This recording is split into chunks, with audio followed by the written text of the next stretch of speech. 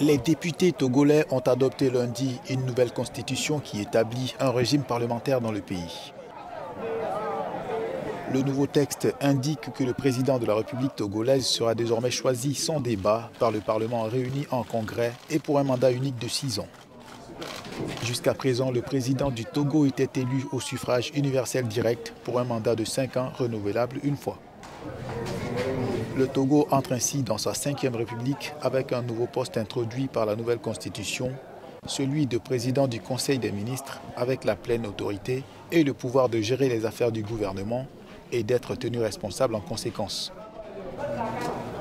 Une fois ce texte entré en vigueur, le chef de l'État est pratiquement désinvesti de ses pouvoirs en faveur du président du Conseil des ministres qui devient celui qui représente la République togolaise à l'extérieur et qui dirige effectivement le pays dans la gestion quotidienne.